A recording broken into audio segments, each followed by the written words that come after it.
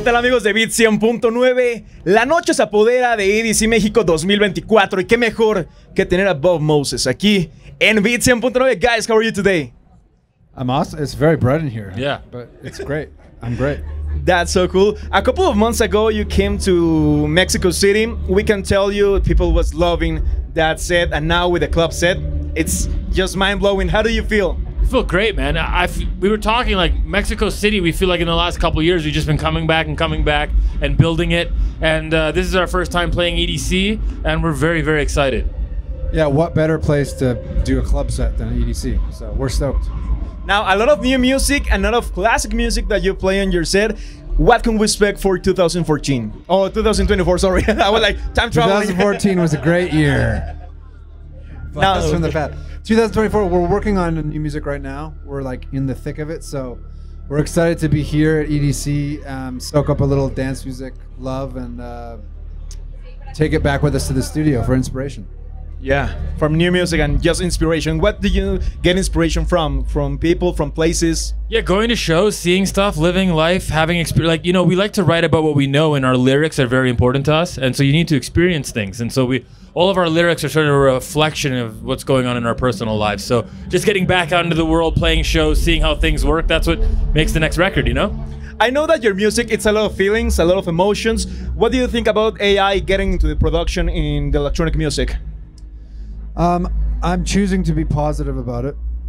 You never know. I feel like it's equal parts scary and, and exciting. I think some for us, some of the synths and like weird tools that our AI is coming up with are pretty sweet. So we're just excited to use those in the studio.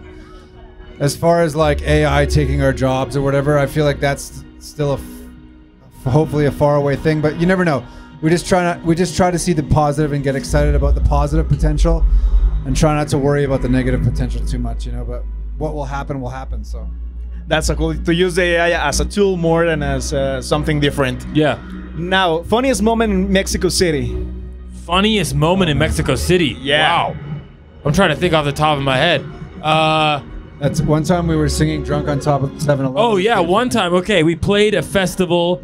Uh, the XX played too. I forget what the name, I forget what it was called. but we um, it ended up with us back at the hotel outside, having a rap battle, drinking tequila because we all the bars closed. So we went to one bar and then another bar, and then there was no more bars, and so we took the hotel tequila and we were in the street, and then we climbed on top of a 7-Eleven, and we were just rapping like nonstop, and like we had a little crowd of people. It was really embarrassing. it was bad. Yeah, we Yeah. shouldn't. We should not be rapping. Nobody should. Yeah, Definitely something. It was random that night, but it we was should stick to dance music Yeah. for sure. Yeah, don't. We're no, there's no Bob Moses rap career.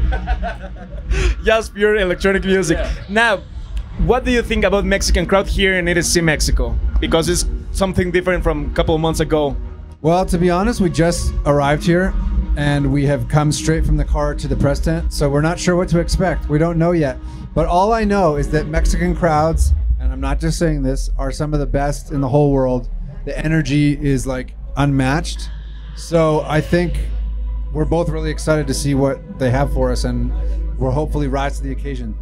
I can tell you that we were waiting for you. When we saw your name on the lineup for the 10th anniversary of EDC, we are like, what? You're coming from a club set from actual Bob Moses. We were like, man, we need to be there.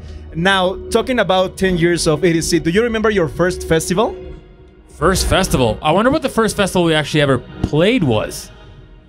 Yeah. We've done so many, so so many festivals. Probably Art Basel actually in Miami might be if that counts. Yeah. Um, I guess the short answer to that question is no. no, probably because we, we were having such a good time. We don't remember it. And I don't remember it should much of those times. You know, No, I'm.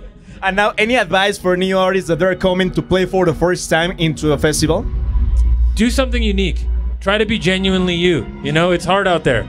It Yeah, doesn't. also just enjoy it. Like soak it up. Festi- the good thing about festivals is like the culture of the festival is bigger than any one artist there. So it's like that's what we love about playing festivals is you get to soak up. Everybody's dressed co- cool.